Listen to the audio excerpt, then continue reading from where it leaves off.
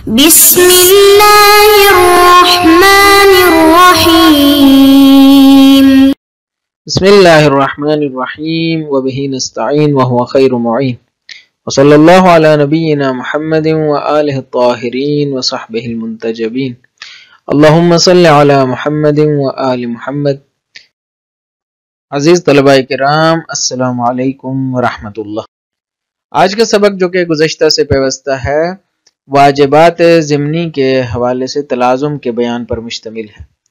آج ہم بتائیں گے کہ واجبات ضمنی قابل تجزیہ نہیں ہوتے۔ واجبات ضمنیہ میں تلازم پایا جاتا ہے، اس کے اجزاء قابل تفکیک نہیں ہوتے۔ ایک جز سے اگر وجوب ساقط ہو جائے تو پورے کے پورے اجزاء سے وجوب ساقط ہو جاتا ہے۔ ایسا نہیں ہے کہ ایک سے وجوب ساقط ہوا، دوسرا باقی رہے گا۔ نہیں، بلکہ ان کے اندر تلازم پایا جاتا ہے اور تلازم سے مراد یہی ہے۔ تو آج اس کی وضاحت مثالوں کی روشنی میں کریں گے۔ سب سے پہلے قرآت متن کی طرف چلتے ہیں۔ وَلِأَجَلِ ذَلِكَ كَانَ وُجُوبُ كُلِّ جُزْءٍ مِّنَ الصَّلَاةِ مَثَلًا مُرْتَبِطًا بِوُجُوبِ الْأَجْزَاءِ الْأُخْرَى، لأن الوجوبات الضمنية لأجزاء الصلاة تشكل بمجموعها وجوبا واحدا استقلاليا ونتيجة ذلك قيام علاقة التلازم في داخل إطار الحكم الواحد بين الوجوبات الضمنية فيه. وتعني علاقة التلازم هذه أنه لا تمكن التجزئة في تلك الوجوبات أو التفكيك بينها. بل إذا سقط أي واحد منها تحتم سقوط الباقي نتيجة لذلك التلازم القائم بينها. مثال ذلك إذا وجب على الإنسان الوضوء وهو مركب من أجزاء عديدة كغسل, كغسل الوجه وغسل اليمنى وغسل اليسرى ومسح الرأس ومسح القدمين فيتعلق بكل جزء من تلك الأجزاء وجوب ضمني بوصفه جزءا من الوضوء الواجب. وفي هذه الحالة إذا تعذر على الإنسان أن يغسل وجهه لآفة فيه وسقط لأجل ذلك الوجوب الضمني المتعلق بغسل الوجه. كان من المحتم أن يسقط وجوب سا وجوب سائر الأجزاء أيضا. فلا يبقى على الإنسان وجوب غسل يديه فقط ما دام قد عجز عن غسل وجهه. لأن تلك الوجوبات لا بد أن ينظر إليها بوصفها وجوبا واحدا متعلقا بالعملية كله كلها أي بالوضوء. وهذا الوجوب إما أن يسقط كله أو يثبت كله. ولا مجال للتفكيك یہ تو عبارت تھی جو قرات ہو چکی، اب چلتے ہیں اہم ترین نکات کی جانب۔ گزشتہ سبق میں ہم بتا چکے ہیں کہ متعلق کے اعتبار سے واجبات دو طرح کے ہوتے ہیں۔ کچھ ایسے واجبات جن کے متعلقات بسیط ہوتے ہیں۔ یعنی ایک ہی فعل ہوتا ہے، جیسے سجدہ واجبہ ہے، جو آیت سننے کے بعد آپ پر واجب ہوتا ہے۔ تو یہ ایک ہی فعل ہے اور اس کے اندر کوئی ترکیب یا پیچیدگی یا تعلیف نہیں پائی جاتی۔ اور دوسرے وہ واجبات ہیں جہاں ترکیب پائی جاتی ہے، جہاں مرکب ہوتے ہیں، واجبات افعال کا مجموعہ ہوتے ہیں۔ تو اس مرکب واجبات کے حوالے سے ہم نے بتایا کہ یہاں پہ دو قسم کے وجوب سامنے آتے ہیں۔ ایک وجوب استقلالی ہے جو خود عنوان مرکب سے مربوط ہے، جیسے نماز کا عنوان وجوب استقلالی رکھتا ہے۔ اسی نماز کے عنوان کے اندر کچھ جو اجزاء ہیں، ان کے اوپر بھی وجوب کا اطلاق ہوتا ہے۔ تاہم، یہ وجوب وجوب استقلالی نہیں ہے، بلکہ ضمنی نوعیت کا ہے۔ یعنی خود رکوع، سجود تشہد، قیام، یہ نماز سے ہٹ کر ان کا کوئی وجوب نہیں ہے، بلکہ نماز کے اندر یہ واجب ہوتے ہیں۔ لہٰذا یہ وجوب ہر جز سے مربوط ہے۔ اور ضمنی طور پر یہ واجب ہے۔ یہ وہ مباحث تھی جو گزشتہ سبق میں ہم نے بتا دی۔ آج کی بحث میں ہم واجبات ضمنی میں تلازم کا بیان شامل کرنے جا رہے ہیں، جو اصل بحث ہے کہ خود واجبات ضمنی متلازم ہوتے ہیں۔ سب سے پہلے مثال کی طرف آتے ہیں۔ مثال وضو کی دیکھ لیں۔ وضو کے اندر غسلات پائے جاتے ہیں اور مساحات پائے جاتے ہیں۔ اذا قمتم الى الصلاة فاغسلوا وجوهكم وايديكم الى المرافق. یہ ہو گئے غسلات. اور ومسحوا برؤوسكم وارجلكم الى الكعبين یہ ہو گئے مساحات. تو اب وضو کے اندر دو چیزیں ہیں. اب اگر ایک عضو کا دھونا جو مثلا غسلات میں سے ہے، جس کو دھونا تھا، وہ ممکن نہیں رہا. آپ کے پاس پانی کم ہے اور آپ نے منہ دھویا اور مثلا دایاں ہاتھ یا بایاں ہاتھ دھونا رہ گیا. اب پانی کم پڑ گیا، تو کیا کریں گے؟ کہتے ہیں یہاں پہ وضو کے بجائے تیمم کریں گے۔ کیوں؟ اس لیے کہ یہاں پہ اس نے جو مرکب تھا، واجبات ضمنیہ میں تلازم پایا جاتا ہے۔ اس نے جو مرکب تھا، اس کو انجام نہیں دیا۔ واجبات ضمنیہ مل کر کیا کرتے ہیں؟ واجب استقلالی کو تشکیل دیتے ہیں۔ بتلان بھی اسی وجہ سے سرایت کرتا ہے۔ یعنی اب ایک شخص نے واجبات مرکبہ میں سے ایک جز کو انجام نہ دیا۔ تو کیا ہو گیا؟ پورا مرکب یہاں پہ باطل ہو جاتا ہے، پورا مرکب چلا جاتا ہے۔ اس لیے کہ مرکب منتفی ہو جاتا ہے ایک جز کے منتفی ہونے سے۔ مثلا مسا انجام نہ دیا، مسا انجام نہیں دیا تو وضو باطل ہو جائے گا۔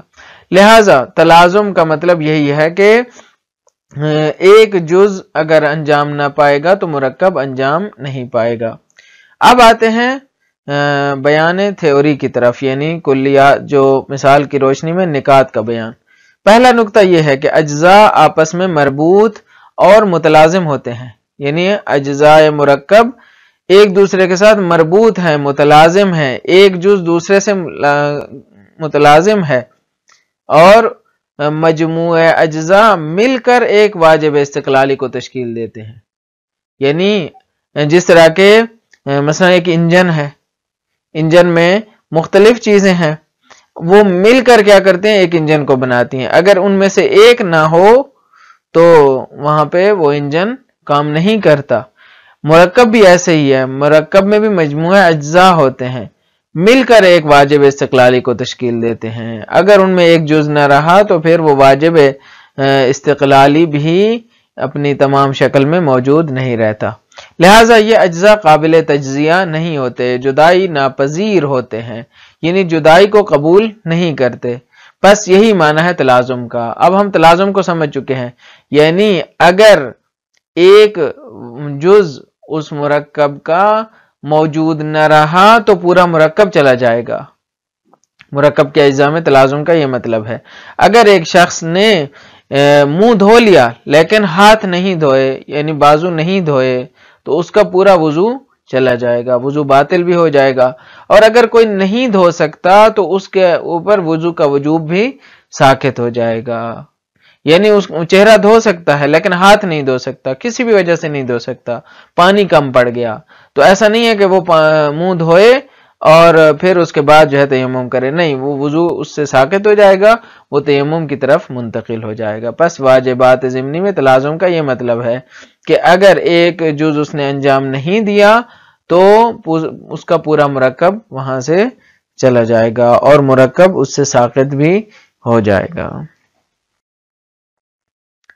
اب آتے ہیں وضاحت متن کی جان فرماتے ہیں ولی اجل ذالک وجوب کل جزء من الصلاة مثلا مرتبطا بوجوب الاجزاء الاخرى اسی وجہ سے ہر جز کا جو وجوب ہے، نماز کے ہر جز کا وجوب، وہ مربوط ہے کس کے ساتھ؟ دیگر اجزاء کے ساتھ۔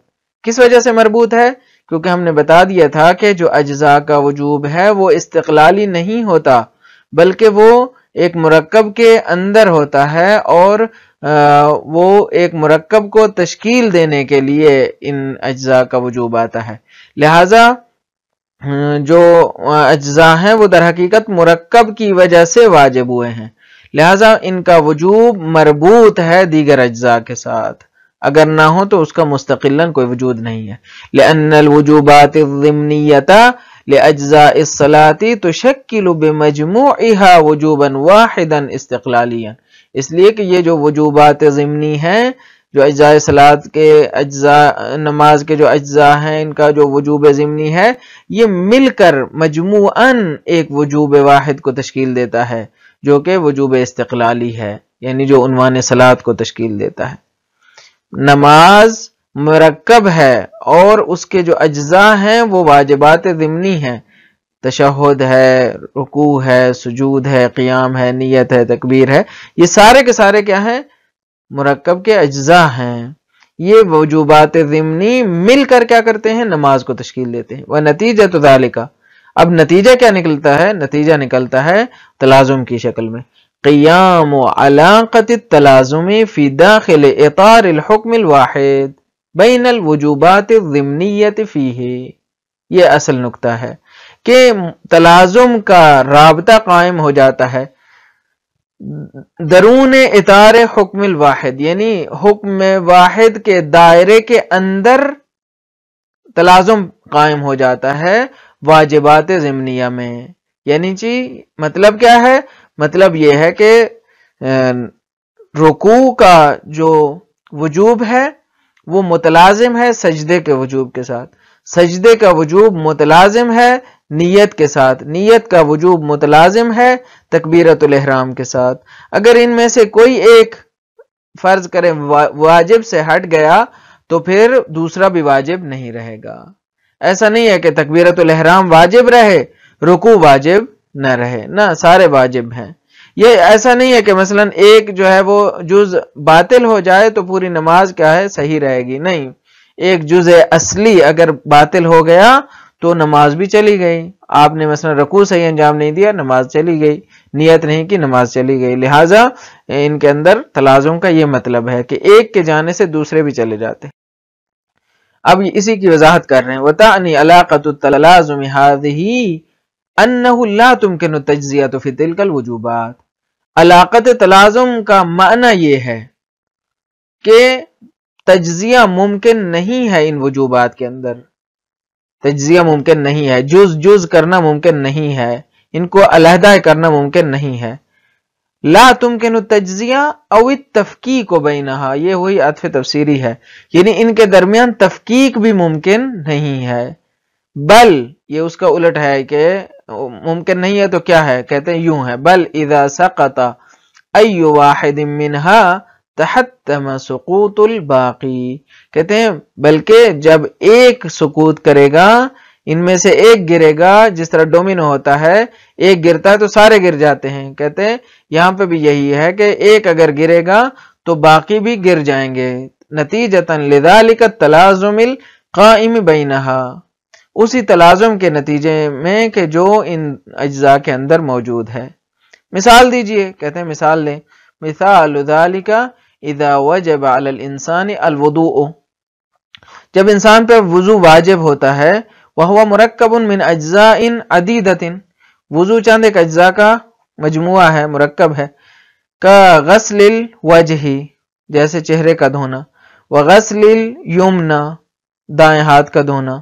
وغسل الیسرا بائیں ہاتھ کا دھونا، ومسح الرأس، سر کا مسا، ومسح القدمین، دو پاؤں کا مسا، یہ سارے اجزاء ہو گئے۔ کہتے ہیں، فَيَتَعَلَّقُ بِكُلِّ جُزْءٍ مِّن تِلْكَ الْأَجْزَاءِ وُجُوبٌ ضِمْنِيٌ۔ ہر ایک جز کے ساتھ، ان اجزاء میں سے ہر ایک جز کے ساتھ واجب ضمنی نے تعلق پکڑا ہے۔ بے وصف ہی کیوں؟ بے وصف ہی جز ام من الوضوء الواجب۔ اس وجہ سے، اس وصف کے ساتھ یعنی اس صفت کی وجہ سے کہ چونکہ وہ جز ہے وضوء واجب کا۔ یعنی اگر محاورہ ترجمہ کریں تو یوں ہوگا کہ وضو واجب کے جز ہونے کے ناطے ان اجزاء میں سے ہر ایک جز کے ساتھ وجوب ضمنی نے تعلق پکڑا ہے۔ اب کیا ہوگا؟ کہتے ہیں، اب جب تلازم ہوگا تو صورتحال یوں بنے گی۔ وفی هذه الحالتی اذا تعذر على الانسان ان يغسل وجهه لآفت فيه اب اگر متعذر ہو جاتا ہے انسان کے اوپر، کہ وہ اپنا چہرہ دھوئے یعنی انسان کے اوپر متعذر ہو جاتا ہے، ناممکن ہو جاتا ہے کہ وہ چہرے کو دھو سکے لے آفت انفی ہے کوئی بھی آفت آ گئی، کوئی بھی مصیبت آ گئی، کوئی بھی مشکل پیش آ گئی۔ وساقت اجل ذالکا الوجوب الضمنی کہتے ہیں، اب یہاں پہ وجوب ساقط ہو گیا۔ ہم فرض کر لیتے ہیں کہ یہاں پہ وجوب ضمنی ساقط ہو گیا۔ چہرے کا دھونا واجب نہیں رہا۔ المتعلق بغسل الوج وہ وجوب کے جس کا تعلق غسل وج سے ہوا ہے۔ کان من المحتم ان يسقط وجوب سائر الاجزاء ايضا کہتے ہیں، یہاں پہ حتمی ہے کہ باقی اجزاء کا وجوب بھی ساقط ہو جائے گا۔ فلا يبقى على الانسان وجوب غسل يديه فقط. ما دام قد عجز عن غسل وجهه. کہتے ہیں انسان کے اوپر اب یہ نہیں ہے کہ وہ کہے کہ صرف ہاتھ دھو لے، بازو دھو لے اور وضو کر لے۔ کہتے ہیں کہ یہاں پہ باقی نہیں رہتا انسان کے اوپر وجوب ہاتھ دھونے کا۔ فقط کہ وہ فقط ہاتھ دھو لے اور وضو کو ختم کر دے۔ مادہ مقد آجز عن غسل وجہ جب تک کہ وہ عاجز ہے چہرہ دھونے سے۔ کیوں؟ کیوں ایسا نہیں ہوتا؟ لأن تلك الوجوبات لابد ان ينظر الیہا بوصفها وجوبا واحدا۔ کیونکہ یہ سارے جو وجوبات ہیں، کون سے وجوبات؟ وہی ضمنی وجوبات جو مساحات اور غسلات کے متعلق ہیں۔ کہتے ہیں، لابد ہے، ضروری ہے کہ ان کی طرف نظر کی جائے، اس نظر سے ان کو دیکھا جائے کہ وہ وجوب واحد ہیں، بے وصف وجوباً واحدہ۔ اس نظر سے انہیں دیکھا جائے کہ وہ وجوب واحد ہیں، کہ متعلقاً بالعملیت کلہا، اے بالوضو، کہ جس کا تعلق پکڑا، جس نے تعلق پکڑا ہے پورے عملیات کے ساتھ۔ یعنی ایک وجوب واحد ہے، کہ جس کا تعلق ہے پورے کے پورے عملیات کے ساتھ، اور وہ ہے وضو۔ بس ایک ہی وجوب ہے، وہ قابل تجزیہ نہیں ہے۔ وہاد الوجوب اما ان يسقط كله او يثبت كله۔ لہذا، یہ وجوب یا تو پورے کا پورا ساقط ہوگا یا پورے کا پورا ثابت ہوگا۔ ولا مجال للتفقیق اب ان کے درمیان تفقیق محال ہے۔ بس خلاصہ کلام یہ ہوا کہ جو واجبات ضمنی ہیں، کیونکہ ان کا وجوب مستقلا نہیں ہے۔ ان کا وجوب اصل میں تو واجب عنوان کی وجہ سے ہے یعنی عنوان وضو کی وجہ سے ہے۔ اور وضو کا عنوان جب ایک مرکب ہے، تو ایک جز اس کا نہیں ہوگا، تو پھر وہ مرکب نہیں رہے گا۔ مثلا ایک معجون ہے، اس کے اندر پانچ چیزیں ہیں۔ اب اگر وہ معجون پانچ چیزوں میں سے ایک ایٹم اس کا نہ رہے ایک ایٹم حذف ہو جائے، تو اب وہ معجون کیا اپنا اثر دکھائے گی؟ نہیں دکھائے گی۔ وہ والا اثر نہیں رہے گا۔ وہ معجون اب اس نام سے نہیں پکاری جائے گی۔ یہاں پہ بھی یہی ہے کہ ایک وضو جس کو شریعت نے ایک مرکب کے طور پر دیکھا ہے، اب اس کا ایک جز جو ہے وہ حذف ہو جاتا ہے۔ تو اب وہ مرکب نہیں رہتا۔ کیونکہ وجوبات ضمنی کا وجوب اصل وجوب استقلالی کی وجہ سے ہے اور وجوب استقلالی ایک ہی وجوب ہے۔ لہٰذا اما یسقط کلو اور یسبت کلو ولا مجال التفقیق یہاں پہ تفقیق کی کوئی گنجائش نہیں ہے۔ خلاصہ کلام یہ ہے کہ آج کے سبق میں ہم نے واجبات ضمنی میں تلازم کا بیان کیا۔ اور بتایا کہ اجزاء واجبات مرکبہ آپس میں مربوط اور متلازم ہوتے ہیں۔ مطلب یہ ہے کہ سب مل کر ایک واجب استقلالی کو تشکیل دیتے ہیں اور کیونکہ وجوبات ضمنیہ کا اپنا کوئی مستقل وجوب نہیں ہوتا، وہ واجب استقلالی سے لے رہا ہوتا ہے، تو اس لیے یہ مرکب کے اجزاء قابل تجزیہ نہیں ہوتے۔ یہ جدائی ناپذیر ہوتے ہیں یعنی جدائی کو قبول نہیں کرتے۔ اب اگر ایک جو ہے وہ چلا جائے تو باقی بھی قابل عمل نہیں رہتے۔ اس کی مثال مثلا وضو وضو کے اندر غسلات اور مساحات کی ہے۔ اب فرض کریں کہ اب ایک شخص جو ہے وہ منہ نہیں دھو سکتا اور منہ کا دھونا اس سے ساقت ہو جاتا ہے، تو پھر ایسا نہیں ہے کہ ہاتھ کا دھونا اور پاؤں کا دھونا جو ہے وہ واجب باقی رہے۔ اس لیے کہ یہاں پہ وجوب وجوب واحد تھا۔ جو اجزاء کے اندر سرایت کیا تھا۔ اب یہ تجزیہ پذیر نہیں ہے۔ ایک سے ساکت ہوا تو سب سے ساکت ہو جائے گا۔ ایک کے اوپر باقی رہا تو سب کے اوپر باقی رہے گا۔ ایسا نہیں ہے کہ ایک جز اس کا ساکت ہو جائے، دوسرا جز جو ہے وہ انجام دینا ضروری ہو۔ مجھے امید ہے یہ سبق بھی آپ کے لیے مفید واقع ہوا ہوگا۔ اجازت دیجیے اللہ تعالیٰ آپ کا حامی و ناصر ہو۔ السلام علیکم ورحمۃ اللہ وبرکاتہ۔